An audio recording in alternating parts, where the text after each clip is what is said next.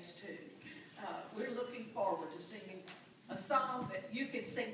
You think we'll need both? Oh, I'm sorry, I thought you could. No, no, I had it. Oh. I don't know what I was saying. I embarrassed my daughter, well. Yes, we have been looking forward to this. Uh, and I truly mean that. It, it is a blessing to me to get to sing with Virginia. And we're singing a song that is so familiar, you could sing it right along with us, How Great Thou Art. And you just pray for us, because I know there's a little nerves, and so just pray for us, please.